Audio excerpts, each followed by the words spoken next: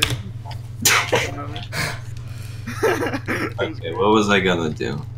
Leafy routing. That's what I'm doing.